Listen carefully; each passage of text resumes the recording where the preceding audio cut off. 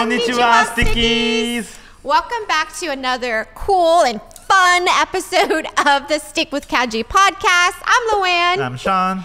and you can follow me on Instagram here where you know I show you guys what I do when I'm not recording podcasts or making videos. So, yeah, and if you like this video at the end, please give us a thumbs up, subscribe for more fun content.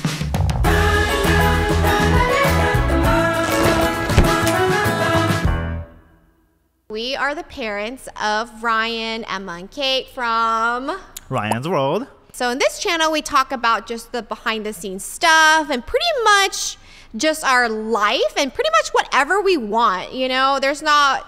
'Cause so- eh. And a lot of times in the main videos that we showcase on Ryan's World, we just show all the fun stuff. But on this one, we want to connect with the parents of those kids and show the uh, the behind the scene, what's really happening uh, off the camera. On this episode, we're going to explain about this recent videos that we rece- uh, we released about us traveling to Japan. That's right, the secret ninja. the secret ninja project. That's a fidget spinner. yeah, I couldn't find a shuriken um, on. Yeah, Yeah, it does look closer. So, yeah. Okay. right? Yeah. It does look like a shuriken a little bit. so we traveled to Japan two years ago, and it's funny that we're releasing it now because um, this is something that we're working with the uh, department of the uh, tourism in Japan. So uh, we've been coordinating with them, and we actually went back to Japan two years ago and filmed all this footage, but we released this year because the COVID. So right when we went uh, to the Japan, it was 20 December 2020. At that time, the pandemic wasn't there, so we were able to still travel to Japan. It was everything was safe, and we went to all these amazing places, and we'll talk in detail later. But uh, you know, we were going to release it right away after that. But then after we came back to uh, US, and the COVID started spreading around the world, and then you know the tourism itself wasn't really ideal after that point. So we couldn't really release this video for years, and you guys have noticed Ryan looked really young in those videos. he was eight, so it was two years ago. So Yeah, it's funny how only two years, but he looks so different. yeah. Uh, but that's the kind of the, the explanation why that there's a time gap between when we filmed and when we released. Right. So I remember being in Japan in December and I start hearing on the news and stuff about COVID and you know, I was like, what's that? You know, I wasn't sure. But I thought, oh, it'll pass. By the time we come back home, it'll be over. We can release our cool No, this is not ninja. How do you do ninja pose? There's no really specific Okay, pose, but, but yeah, a lot of people do this, Our- right? yeah, we can release our cool ninja videos, you know, and share with you guys all everything that we did there, like the culture, culture, the- history, and all the uh, the fun tourist places that we've been to. Uh, a lot of them associate with the ninja history, so I think I thought it was pretty cool. But yeah, we waited until now to release it, but it's finally out. Oh, there are a lot of Yay! videos. Uh, I don't know how many videos uh, being published by the time we release this video, but I feel like there are like 10 videos worth of the footages that we recorded there. So I'm so excited to release them all. Right, and we were really excited because you know Ryan's half Japanese. Yeah, because a lot of those places, it's really fun place to go, but then it's a little bit difficult for foreigners to, to find the way to, to access there, right? Uh, it's not really near Tokyo, which, you know, the, a lot of people, when foreigners come to Japan, tourists come to Japan, they go to Tokyo and then just visit the, uh, the cities around Tokyo. These places, is a little bit away from that. So you really have to know the how to get to those places. And, you know, since we were working with the, uh, the team in Japan, um, uh, taking us to those places. So, uh, you know, it was fun. A a lot of places I'd never been to. Even I'm from Japan, I didn't, I never been to those places. So I was like pretty excited too. Yeah, because they gave us a tour guide who, when we went there, they explain everything we need to know about that certain location or place. So if we were to go there ourselves, I wouldn't be able to pick out all these unique spots, you know, without the tour guide there. Yeah, I'm glad the tour guide could speak English too. Because if I have to explain everything, it, it's gonna be hard. Because you have to explain the history a bit too. Yeah. And I have to think about oh, how do I translate this and this. Uh, so it was a little bit uh, very. It was really helpful having the uh, the tour guide who speaks English and explaining that to Ryan and Loann. Yeah. All right. Anyway. Finally, after this super long intro. Oh yeah, yeah. So anyway, we're gonna jump on to the uh, just explaining from the beginning, right? The day one. Yeah, the Ninja Project is supported by Japanese government and also Department of Tourism. They wanted to explain and, and, showcase all the fun places associated with the ninja culture and history in Japan. A lot of times, you know, uh, tourists uh, come to Japan and they just uh, tour around the uh, Tokyo and the surrounding cities. But there are many fun places in the south side of Japan. So uh, this time we uh, flew to Osaka, Japan, instead of Tokyo. And through this ninja project, actually Ryan was assigned as a ninja offshore ninja ambassador. So what it means is Ryan is offshore person who helps support ninja culture and history, uh, not in not only Japan but also around the world. So Ryan has a wide, uh, uh broad about um, fan base around the world. So he, you know, through the video, he's trying to uh, promote the the culture and history of ninja. So that's why we went to the uh, uh, Japan and, and uh, visited all these places, and, uh, and, as a whole family, it was really fun. Not only as a project, but also as a fun family trip too. I don't know if how many people know about this, but there are two famous uh, ninja clan in Japan. Uh, one is Koga and the other one is Iga, and they have different originated city, very nearby, but um, are separate they, city. Are they rivals of each other? Yeah, they're very rivals, right? So it was really fun because we were able to visit both historical places, uh, but they are kind of uh, rival clan uh, against each other. And uh, yeah, when you learn Japanese history, nin, uh, Koga and Iga ninja clans, they often appears in the uh, Japanese history. So it's really fun. If you know the Japanese history, it's really fun to visit those places. Uh, so day one, so we flew from Houston all the way to Tokyo first, and then from Tokyo we flew right away to Osaka. It was a very long trip on the plane, over 14 hours, but it was worth it. Right, and then you know we've been to Osaka before, but all we did in Osaka back then was just going to Universal Studio Japan, and that was it. But this time we were able to go all the other fun places. Yeah, because before when we went to Japan the first time with Ryan, he was young. He was probably five or six years old. So for a five to six year old to walk around or care about the temple, you know, he wasn't really interested. He just wanted to do some fun kids' places, right? Like Universal, Legoland. Now, when we went back the second time, he's eight. So he's more interested and, and, and aware of his surroundings. So we thought this is a perfect time and opportunity to take him to Japan to show him the ninja culture and histories. Except I was really sad we didn't get to release it. But I'm so glad we can finally talk about it and finally showcase and share with you guys our experience there. Yeah, it was perfect timing. Like him being eight years old, yeah. we were able to do a lot more stuff than before. Uh, the first stop uh, after we arrived at Osaka was the uh, Ninja Knife Craftsman shop, and it was really cool because this is this craftsman shop. They they craft uh, Japanese knife over generations um, and uh, it started, I don't know, how, how, I forgot how many years ago, but I think close to 100 years ago. Um, but they've been providing the uh, custom made Japanese knife to all these chefs who working at the uh, uh, famous Japanese restaurants, and sometimes their client is uh, overseas client, so they're uh, chefs from the uh, outside of Japan. They come to Japan and come to this craft shop and, and request this special made knife. So, so these are custom knives yeah. specifically for the chef that in question, right? Right, and then they can talk to the craftsman. Hey, I will, I'm looking for this specific knife. Can you make something like that? And so they can he can special make it for those uh, requests.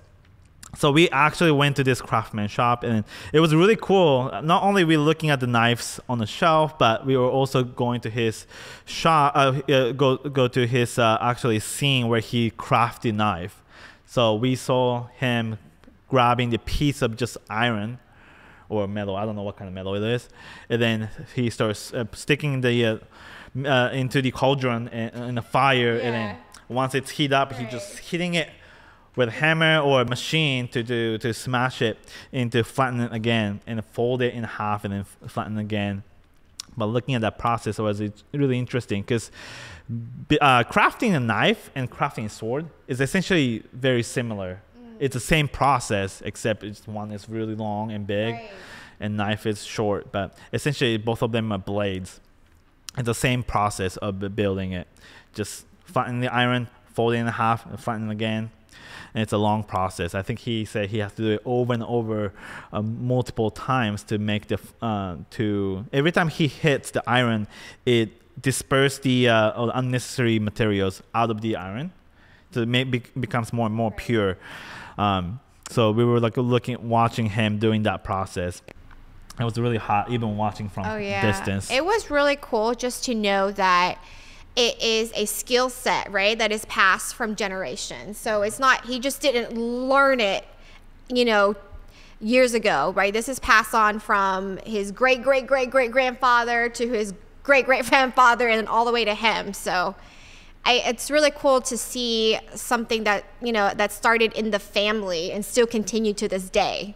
Yeah, and I, when we talked to the owner, he mentioned the, before they start working on a knife, they were working on swords, and he still does in a smaller scale. But uh, it, it was interesting the, uh, that he transformed the, the sword, uh, Japanese sword craft shop into the knife, and it's it's uh, he still does the sword, and then you know he showed us the. Uh, um, some of the sword that he crafted too, and it was really cool seeing uh, the, the masterpiece he created.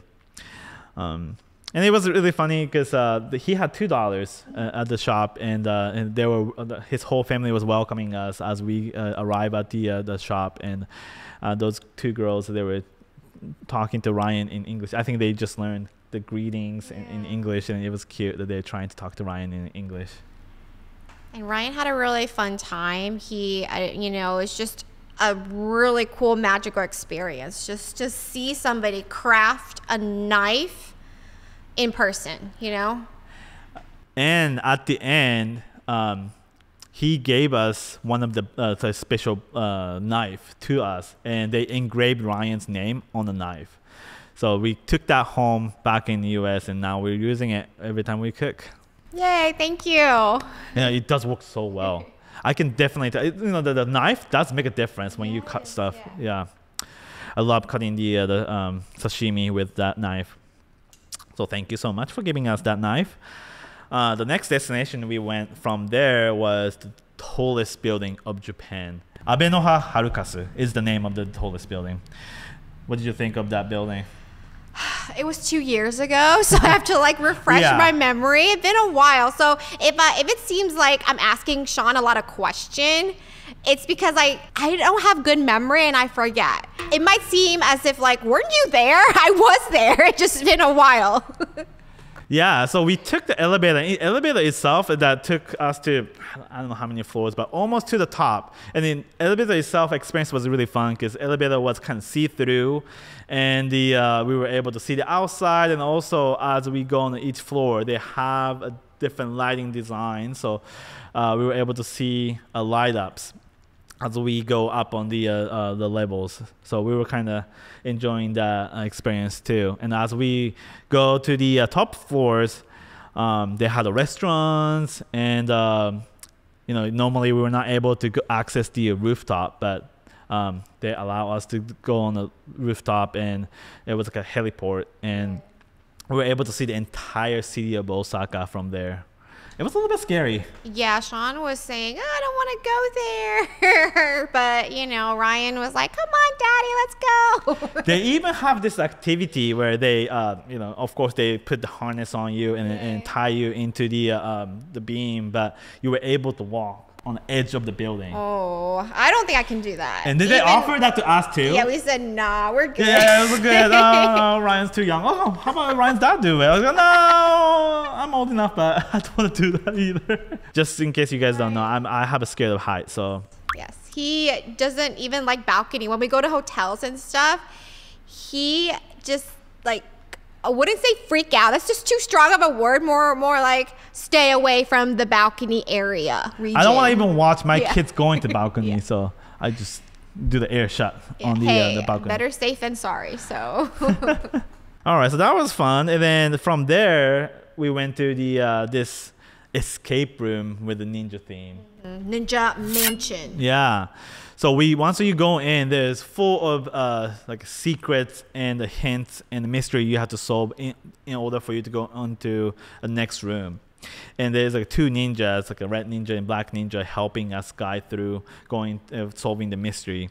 And I was doing pretty good. Yeah, there were places because you ha- you know it's a secret room, so you have to know where all the hidden doors are at, and then you might look like a regular poster, but behind the poster there's something that you need. Like Mm-hmm. it's, and then we have to solve clues and puzzles. It was really fun. There's like a hidden sword underneath the floor.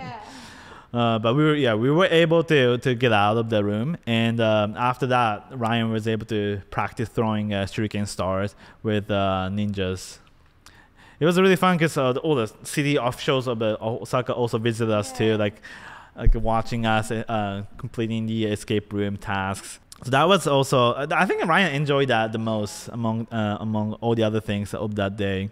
And from there we took a train and went to this temple that we spent the night of. It's really interesting. They offer to let you stay, uh, spend the night there and experience the life of monks. It's called Ichijoji Temple, and uh, Yeah, right when we come in, we were greeted by monks outside the door, and we had to leave our shoes outside when we enter. and then the dinner, they, the dinner they serve, it's a, a vegan food because the monks don't they don't eat meat, so that's also the, the same uh, like food for us. We eating exact same food as the monks, and so it was really cool. I thought I was gonna be hungry. I you know I normally don't eat vegan food because I love meat, but I was so satisfied with the food. Uh, It was actually- really good. we couldn't even finish it actually. Yeah, it was so good. You know, I was thinking, oh, well, I could be a monk to eat this. But I can't. It's just exaggeration. But for that split second, I was like, oh, I could be a monk to enjoy this food. It was really delicious. Yeah, a lot of different variety of root vegetables. Yeah, yeah. And you know, we worry about Ryan might not be able to eat those because he's still little. So we uh, went to the convenience store before that, and then we got him some uh, onigiris. Yeah, but he did try some of the monk food, so Yeah, I'm yeah, glad he, he, tried. like it. Yeah, he, he liked it. But I really like our room, you know, because the first time I came in, I mean, I'm sorry for my ignorance, but I don't really know anything about the Japanese culture. So when I came into the room the first time, you know, I was like, "Where's the bed?" you know. Yeah, normally. Uh, you know, like when you go to hotel, Yeah. even in Japan, they have a bed. But you know, this time we were staying at the temple, so you put the futon on the floor when you sleep. So we were sleeping on the floor with the futon underneath, uh, and uh, this, this probably was the first time Lauren Yes. you used yeah, the yeah. futon. Yeah. So you have to make your own futon, like roll it out, you know, and sleep on it. And then when you wake up the next day, you have to roll it back up, you know. kind of like a Um, sleeping bag. yeah, right? yeah, In a yeah, yeah. Uh, but yeah, I think that's better, I, in my opinion, because that way you can save the space. Right. Yeah. The bed and it's just there all the time. So, uh, but it was a little bit cold during the winter time. I think I think the AC was AC there. I don't remember. I just remember being freezing cold. Yeah, uh, you know, because this is the temple, Yeah, right? yeah. I mean, it's not hotel, so that's the part of the experience, and I thought it was kind of interesting.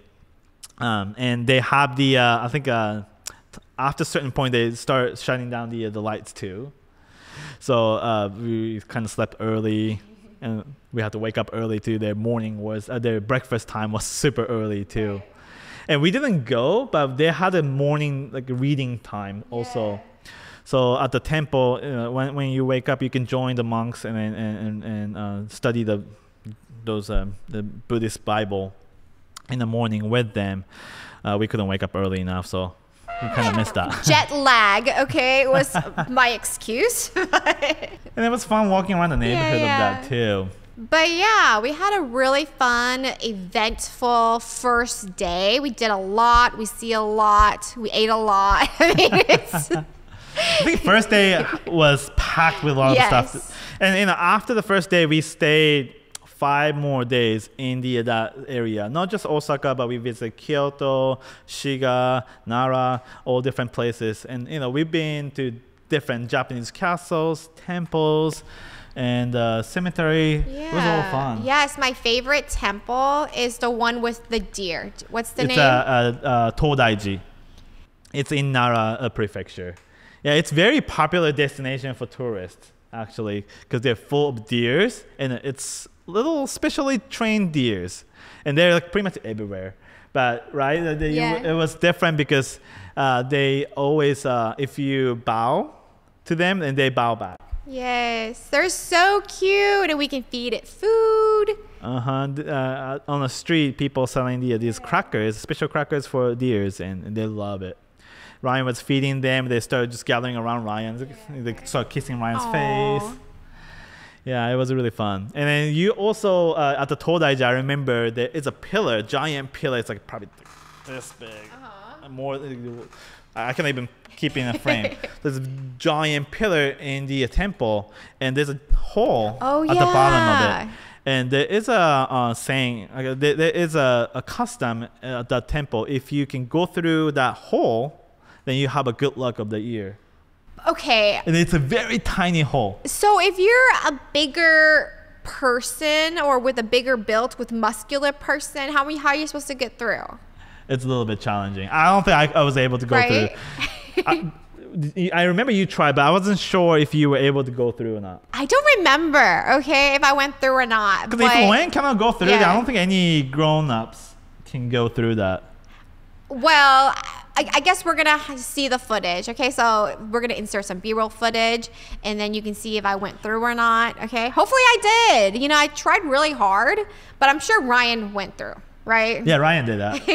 All right, here's a clip. Mommy's gonna try Yeah. to go through the hole, guys. Okay, there's no way. yes, no. I yeah. It's coming, coming. Oh, coming, coming. Yeah. I'm stuck. Oh.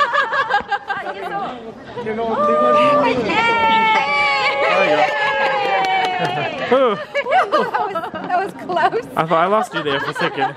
All right. So that was a really fun temple. Um, I I also like the other temple where Yeah, that's my, my favorite. Yeah, yeah. Is the Mount He, uh, Hieizan's uh, temple. So this temple is built on top of very high mountain, right? Uh, it was really cold and it was a little bit challenging to get there. But once we get there, um, there was giant bell that you can um, make, you can ring. So uh, Ryan and I ring that bell on top of the mountain, and the monk there um, let us train meditation. So, uh, in a Japanese way of meditation is you sit down uh, and uh, you close your eyes and try to meditate with just no distraction, like no, no, like no thinking, no any other things besides just breathing. That's all you think about in your mind. Just breathing. Yeah, and and usually monks can detect when you just start thinking something else, then they'll they'll hit you with a stick. Not really hard, Yeah, yeah. It'd Just be ju- like focus, Yeah. focus. just to remind you, Yeah, hey, yeah. you have to focus. Uh, so that's what we did, and Ryan pre- Ryan Ryan liked it too. Uh, so that's what we did, and that was my favorite. Um, that's that's uh, that temple I've never been uh, been to. So. Uh, Todaiji, the one you like, I've been to uh, when I was a little couple of times. But this Hieizan temple, it's um, it's harder to go, so I uh, I never been to the, that place before. Right. And then we went to the, the cemetery. I was really confused because, again, I didn't grow up with Japanese history, so I didn't know who these commanders are or anybody. It's funny because uh, when they explained to Loann and Ryan, oh, this is a this commander, and oh, this is the this commander cemetery, and you know, since you didn't learn Yeah, the yeah. history, you have no idea. But then all the other people, including myself, I was, oh, no way, it's him. yeah. Uh, all the all the people, historical people that I learned through the textbook, uh, history textbook, were there. So I was super excited Yeah, of seeing and this them. is a very famous cemetery, right? Like you could have a plot there if you wanted to. It's just really expensive, Mm-hmm. right? Right. So not only those famous people, but the companies uh, invest money to put. I don't know. uh, Yeah, it's a, their cemetery there. It's interesting. You, you, think about cemetery, you think about person, right? Individual Yeah. person uh, of, of, of grave, but then company. Would you purchased a slot, and then they put a um, object like, representing the company. It, do you think it's more like a sponsor sort of thing or like an advertisement? Yeah, it's it's slot? definitely for promotion. Yeah. So there is a giant national company uh, um, producing coffee, right? So their cemetery was the uh, uh, object of the giant coffee cup. I thought it was pretty interesting Yeah. too. I don't know if the uh, if they offer that place for the their employees Oh. to, to if they right. don't have a I their own see. place. Yeah. I'm not sure, but I, I thought it was kind of interesting to see that. It's really unique. So yeah, we visited so many different cemeteries, and also we went to a lot of different castles too, Japanese castles. We went to the one in Kyoto, and when we went to Nagoya, we went to also another uh, castle too. My favorite was Nagoya Castle. Is that the one with the, the tour guide? The dressing up as Yeah. commander. Yeah. So uh, when we went to Nagoya Castle, usually uh, there's a tour guides at each destination. They explain the history and, and all the fun uh, facts about the the castle. And this Nagoya Castle, the tour guide was dressing up as a, a commander, like looks like a samurai. and he was talking as if he was the commander. I tried to talk to him normally and he speak to me as a commander. You know, he was really playing the part, really invested in his role, and I really feel like it's as if I was there back in the day. Yeah. you know? and same thing when he speaks Japanese too. So he was talking to everybody in English and then also to, uh, speak to me, spoke to me in, in Japanese, and then he was in that character still. And I have to refer him with his commander name. So I thought it was uh, interesting. And he had other samurai and ninja teams behind him too, and they they uh, showed us a little performance of the. Um, acrobatic uh, performance with ninjas. and this is my favorite picture of them together. It just looks like a movie poster, you know? Yeah, with them and also the background of the uh, Nagoya Castle and, and the, the weather was perfect. So So forget Karate Kid. This is more like Ninja Kid. yeah, yeah. I don't I don't know what I'm talking about. Okay. My favorite thing about the whole trip was just seeing the ninjas. You know, we met them at so many different places. We, we saw like the ninja village, they were there, and the ninja mansion. But the coolest thing, which Ryan really enjoys seeing, was the ninja performance. so there are several of our favorite ninja performance shows, and you know, here's the one. So this is the one Sean was talking about here. Um, they come out and like smoke, you know, as an entrance. Yeah, they also use like a special sound effects too, along with their like action. So I thought that was even even more cooler. Yeah.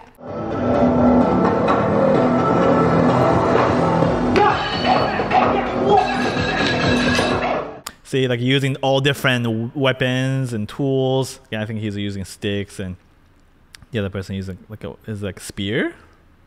I think so. Yeah, and I love this one because it's um, it's not just fighting. There's some scenes that was very comedic. Let, let's just say they all have a s- uh, stabbing action to the uh, the fun places.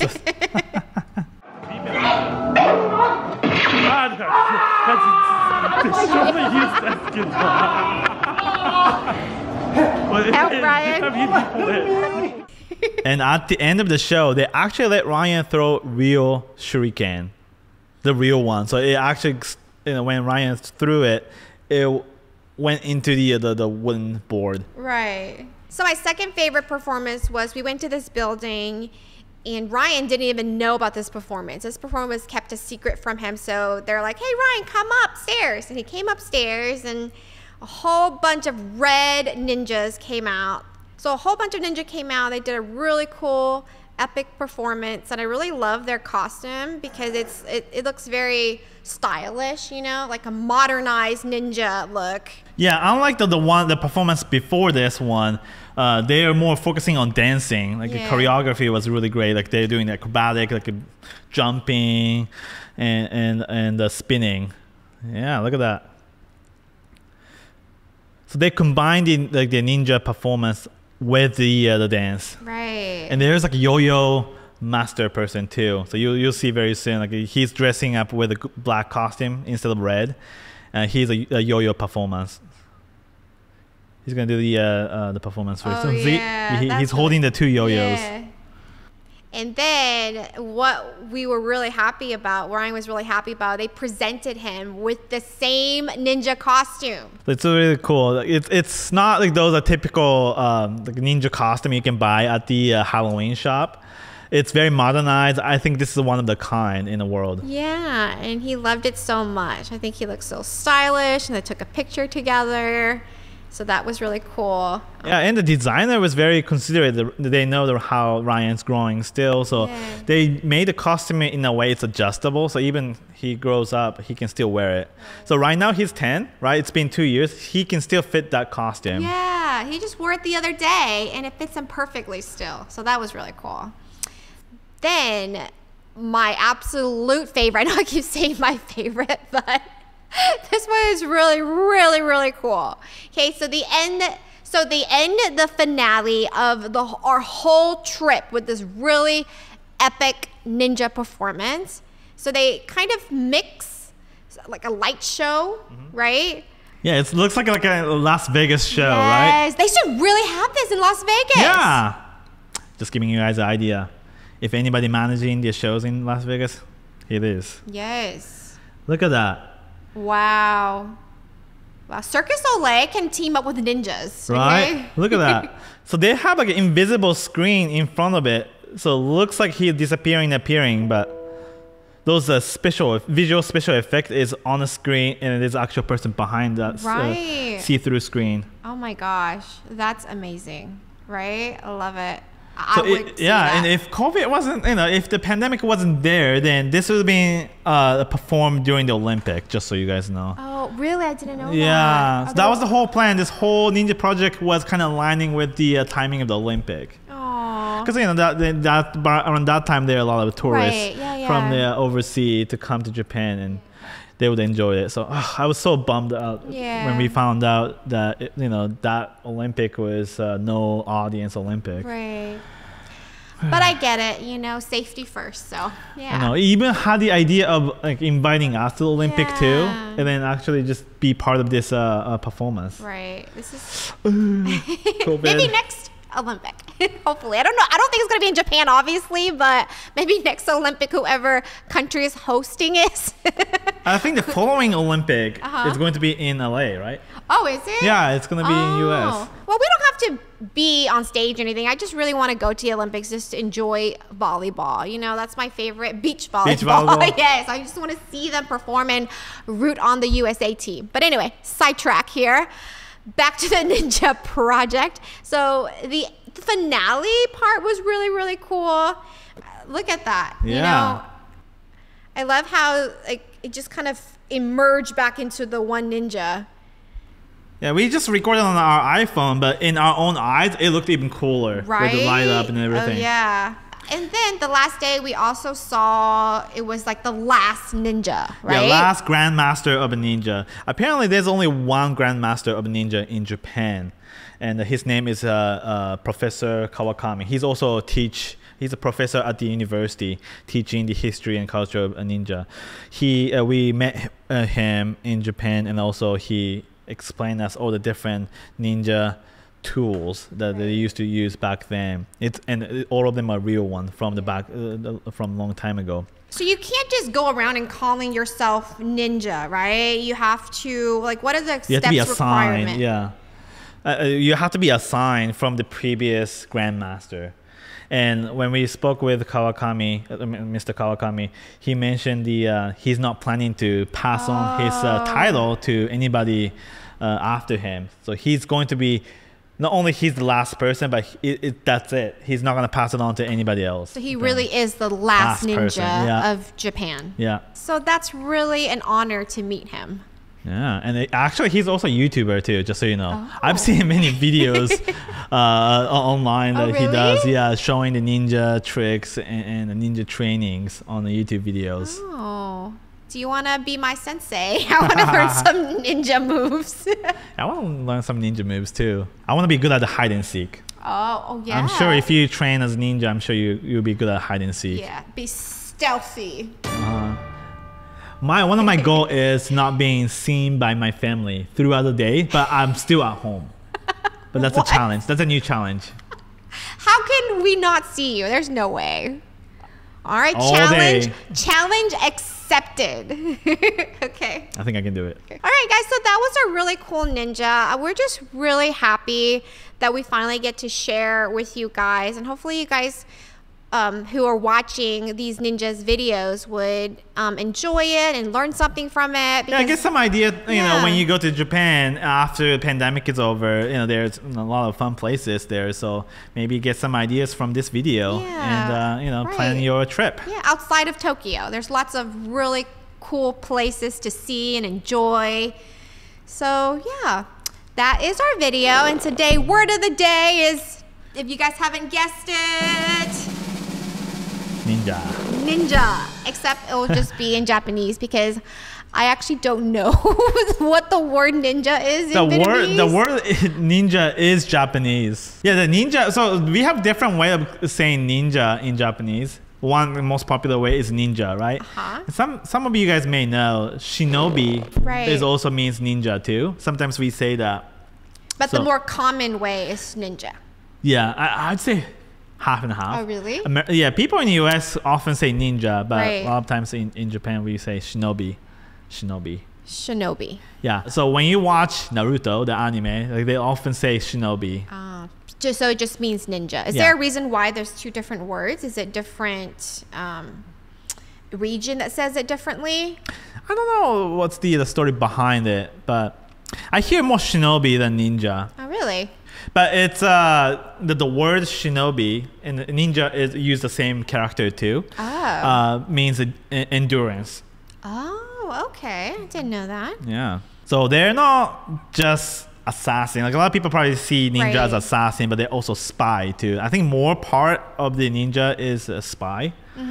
Uh, so they have to be stealthy. They Mm-hmm. Ha- cannot be seen, and then they all, um, you know, their main part of their job is to to gather the information secretly. Mm. So it's like a double seven, Right. Yeah, I like that. except there's no, you know, uh, woman involved. there's no, Hey. it's back in the day, so it's different. There's no Bond girl. but actually, there's a female shinobi too. Oh, really? Yeah, uh, Kunoichi. So it's ninja, but it's a Female ninjas. How do you say it? Kunoichi. Kanoichi. Yeah, Kanoichi. that's a female ninjas. So there's a, a tribe of the, the female Oh, ninja. Interesting. Yeah. Is there any of those still? That I'm not sure. See, they, they talk about the last uh, uh, shinobi, but then what if there is a last kunoichi, the, the female ninja? Maybe. And they have different technique compared to the, Oh, uh, the- the really? male ninja. So that would be interesting to learn the difference too. Oh, now I'm really curious. Yeah, got to do some research after this video. so yeah, hopefully you guys enjoy our secret ninja project that is no longer secret. Yay! Yay. if you like this video, give us a thumbs up. Subscribe to more fun behind the scene content and yeah, if you enjoy just getting to know us as a person too, subscribe. we post videos every Saturday, hopefully, unless we are on trips or holiday break, you know? Yeah, let, let us know if you notice any difference between the stick with Kaji family, us, versus Yeah. how we appear in Ryan's world. I feel like if we're the same, but if you guys can tell the difference, let us know also in the comment. I'm curious. All but this is how we normally talk. Do we? Yeah. I don't know. I feel. I feel like I'm really shy when it comes to the camera. So Loann's, no, no, Loann's usually shy in front of the, the person she just met, but then after that point, she talks a lot. so you just need to break that outer shell first. Yeah, And after true. that, she's very outgoing. True. Yeah. Yeah. If you like this video, give us a big thumbs up. Subscribe for more fun stick with Kaji. Hopefully, you guys have a fantastic day. Thank you so much for sticking with us throughout this whole episode. And hopefully, we'll see you in the future. For now, All thank you for watching. Bye. See you next week. Bye, stickies.